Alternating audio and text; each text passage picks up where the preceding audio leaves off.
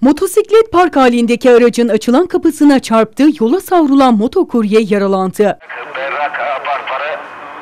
Kaza Battalgazi'ye bağlı Çöştük mahallesinde meydana geldi. 72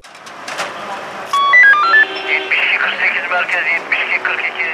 34 SV 0075 plakalı aracını yol kenarına park eden MD inmek için kapıyı açtı. Bu sırada Mehmet Buyruk Caddesi'nden Çöşnük Kavşağı istikametine seyir halinde olan MMS yönetimindeki 44 NB 074 plakalı motosiklet otomobilin kapısına çarptı.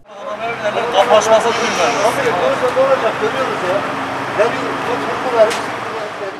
Çarpmanın etkisiyle kontrolden çıkan motosiklet yola savruldu. Motokurye yaralandı.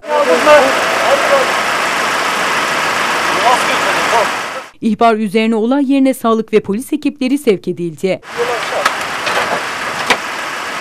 Yaralı motokurye Malatya Eğitim ve Araştırma Hastanesi'ne kaldırılarak tedavi altına alındı. Araçta ise maddi hasar meydana geldi. Çektim. Kazayla ilgili başlatılan inceleme sürüyor.